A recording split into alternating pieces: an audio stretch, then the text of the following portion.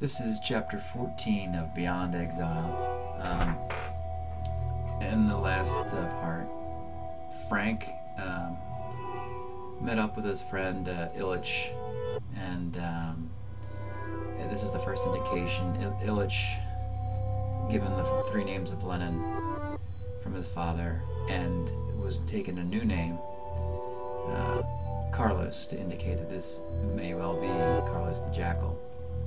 He, uh, when the two split up at the end of the last chapter, Illich uh, was off to Brussels, and now Frank is in Milan, and this is the first time that he is on his own uh, outside the U.S. in the story. That, took, that started in uh, Northern California and stretched across the East Coast on a plane to London and then another plane to Italy. And Frank is on his own in Milan. The chapter is called Letizia. As we begin, um, we see Paulo in the airport as a char- character. To Frank, you want a ride? No, I'll wait for a cab. No thanks, I have a ride. No, I'll wait for a cab. To Frank, cab's not come. You want ride? And that's okay, I'll wait. Can you take me to Milan for cheap? I'm going to Milan. Let's try this one. Frank, yes, very cheap. You come. Grazi. Frank gets into Paulo's car. And Milan's a blur of golden Madonnas winking through scaffolding. Smog etched into pink marble palaces. Paulo lugging his Fiat to save gas. The hospitality of Riverside and Santa Cruz, heavily accented by Milanese concerns. His jacket's too blue for spring. He should leave a bite on his plate. He needs a haircut to teach it the this takes us into scene number 109, the central Milan business district. And if we look at our compass points, you see that they are all lit up, and we are in the center of Milan, and we can go many different directions here. So let's try. Let's start at 12 o'clock and work our way around and see what happens. We go north to scene number 10. It takes us to the Galleria. The Galleria Vittorio Emanuele, famous shopping area. And Frank sees an Italian suit clothing, and it says uh, his jacket's too blue for spring. So he looks at the suit, says nice lines. He takes the suit, assuming he purchases that suit, of course. Frank gets new clothes. Um, so we can go back to the center. And now we can try, let's try 1 o'clock, or this one, northeast. The restaurant Brera. And uh, nothing there. Uh, let's go back to center. And there's Paulo again, his uh, ride. Let's talk to him some more. Paulo is dating Rita, the slim daughter of the Jolly Thai Empire. Okay, Paulo disappears.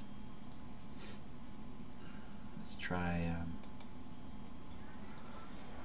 Um, okay, now Paulo has gone to the restaurant, and Frank's followed him. Let's see, and there's Rita, which would be Paulo's girl.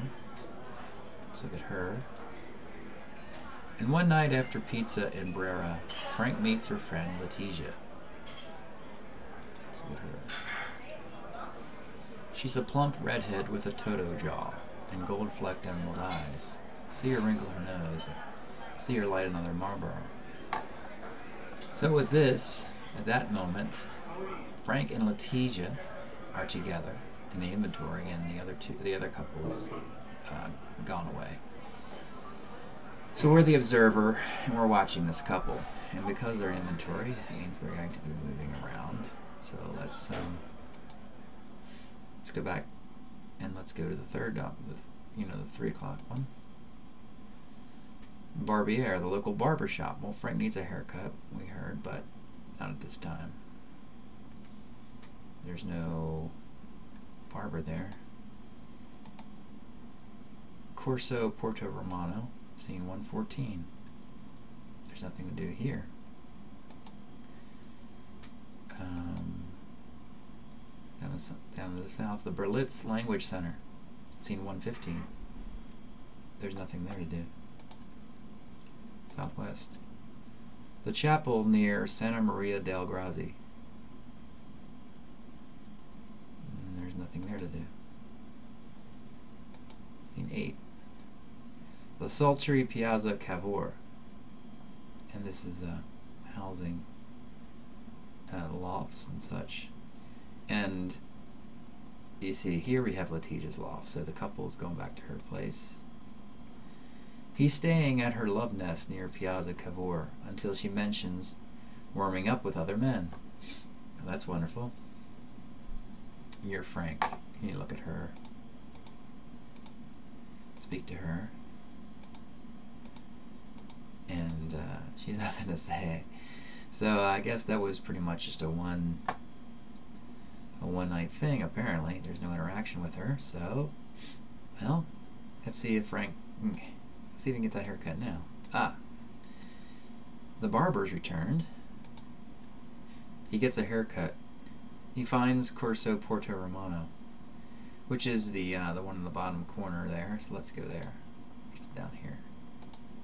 Corso Porto Romano. He's learning the Berlitz method from a tall Prussian pretending to be a former Cambridge Don. Here's another woman, Angelika. Let's look at her. He's training with Angelika, a centerfold, strawberry blonde from Munich. Speak to her. She says nothing. Okay. Alright, well, it said something about the Berlitz. The, Ber the Berlitz method. Let's go down there. He's teaching English for $2 an hour. We can also use these arrows to go, instead of going back to the central district, we can go side by side. Napping between classes in a nearby chapel, then back, addicted to Letizia. Alright, see if she's there and if she's up for anything. Walking cobblestone alleys to smoky lofts, slipping past the doorman to a kinky penthouse never making it in the same place twice. He's tracing her facial scars with semen. Let's see. He goes back. We haven't gone up here yet. The, Cordon the Cord Cardona railway station. Nothing happening there. Let's just go around. Nothing happening here. We already went to the barber shop. Let's go back. See this Angelika girl now. Let's go back and forth between these two girls. He's living on cappuccino and brioche when Angelika invites him to lunch. Alright, so we know where the food place is. Let's go to the lunch place, restaurant. And there's Angelika for lunch. And when you look at her, you see something. But she presents an envelope. Look at him. Yeah, uh, this can't be good. Okay, let's take the envelope and puts a cream envelope on his plate. In his manic and thoughtless state, everything's magnified. He looks at her. He sees her big Bavarian breasts. He sees a big train ticket to Heidelberg. He sees a big escape from a big noose. Okay, so this girl knows something that Frank she's uh, there's something about Frank and passes him some information in an envelope. Um, and a big train ticket. So let's go to the train station then. And now when we go in there, there's a ticket office. Hmm, maybe there's a ticket in an envelope. Oh, okay, sure. All right, so let's take the envelope to the ticket office. And like that, Frank is on a train out of Italy, so. Angelika gave him an, uh, an envelope that told him to get the hell out of Milan. And that's what he did. That's what he did. And that takes is taken him to Heidelberg, Germany. So that was it for Milan with Hank, and you see here another chapter begins. So we're going to pause the game uh, right here. Uh, after chapter 14, you've been Thank you for watching. these are the first 14 chapters of Beyond Exile.